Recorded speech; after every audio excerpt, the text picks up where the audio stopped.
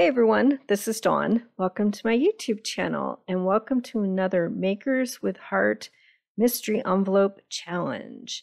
This month, Lori sent the envelopes to all the Makers with Heart and we each got the same thing. So she included in her envelope some rules, papers from Four Seasons Spring, a piece of lemonade shimmer trim. Okay, so Lori's rules read that uh, we have to use every piece, so every pattern, and I can use whatever cardstocks I want, or and also embellishments. And I need to use a technique that I don't normally use, so I'm going to use paper tearing.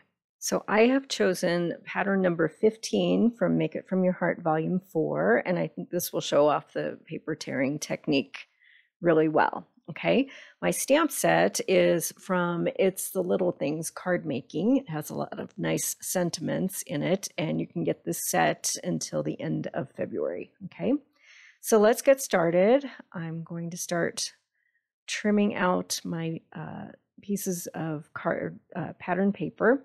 So this first one that is a wood grain is going to be that center strip in the pattern and I'm going to stamp my sentiment on it. So it's this one. So it needs to be cut at one and a half by four and a quarter. So I'm going to trim that down. And then the opposite side of it is that green pattern and um, I need to save that to use. Okay, so that's where my sentiment's going to be. And then this piece of lemonade shimmer trim, I'm going to cut it in half. So a trick to uh, trimming it is to put a little adhesive on the back and then uh, lay it down in your trimmer and then it won't move while you're uh, cutting it in half. So I want a quarter inch of each and that's going to border the sentiment strip.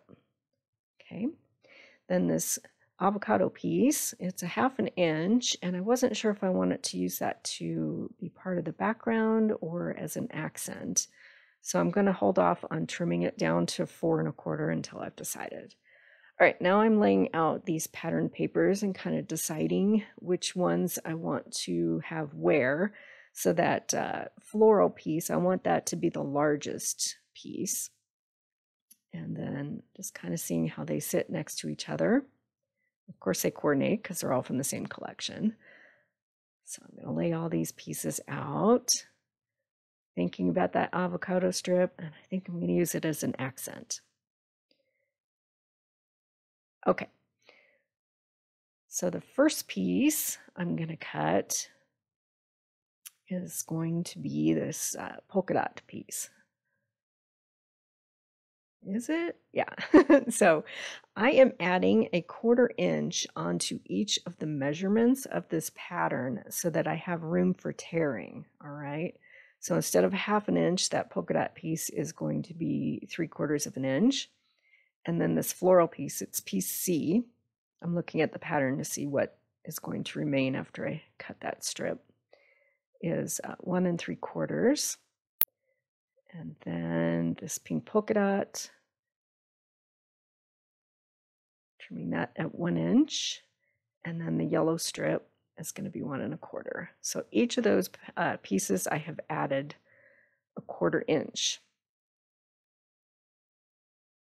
because I'm going to be tearing off part of it. All right, so I'm laying everything out to see if I like what how it's coming together, and then I'll trim each of these strips to five inches according to the pattern.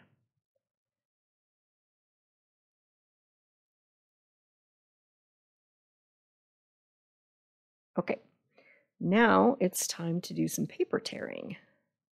Okay, so I wasn't sure if I wanted to use my straight edge, so I'm going to start out by hand tearing the first one.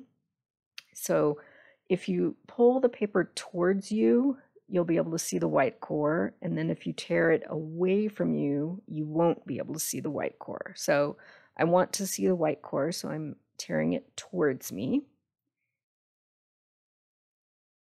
And just tearing off the very edge, okay? All right. And then I'm going to do the same thing, but this time I'm, I'm going to try the straight edge. And I'm going to pull that towards me.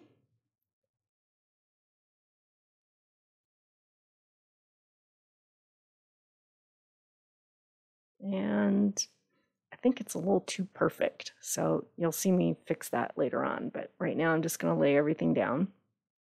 And I'm going to have my torn edges go towards the opening of the card. So now I'm going to fast forward everything because it's just basically tearing the edge of the paper. so I'm going to do the pink one and then the polka dot one.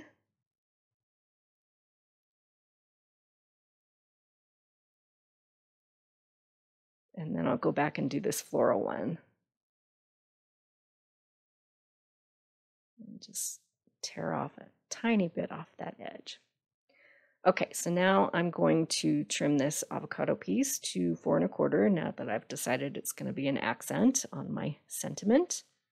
And then we can flip over our verse mat and stamp our sentiment out, okay? So I wasn't sure if I wanted to use thank you or if I wanted to use thinking of you. And ultimately, I decided on thinking of you. I just like the way it looked in that space there. So I'm stamping it with some black ink. And that's it for stamping. Okay, so now we can start laying things down on our card front. So first I'm going to use a border uh, of flamingo. So I'm going to trim this down to four and a quarter by five and a half, and that'll be my card base. I think these colors will really pop with that as a base. And then we can start laying things out and adhering everything down. So just smoothing out my card base with a bone folder. And I'll start putting everything down with tape runner. This is the Tombow Air Touch tape runner, and you can get it through Close to My Heart. I'll put a link below. It is a great tape runner. It doesn't jam up and it runs smooth and I haven't had any problems with it. It's my favorite one for using on cards. I highly recommend it. Okay, so I've just laid everything out and now I'm going to start adhering. I have a quarter inch on the top, quarter inch on the side and the bottom. And I'm just going to glue all these strips of paper down. Pretty simple. Now that I have my pattern. So I will put a link at the end of this video and also in the description below of the playlist for the other Makers with Heart videos. And you can see the cool things they've done with all these supplies that Lori sent to us.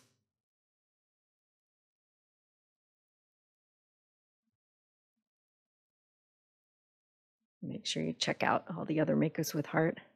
I'm excited to see what they decide to do with these supplies too. So my sentiment is going to be one and a half inches from the top. I'll just put that down with tape runner.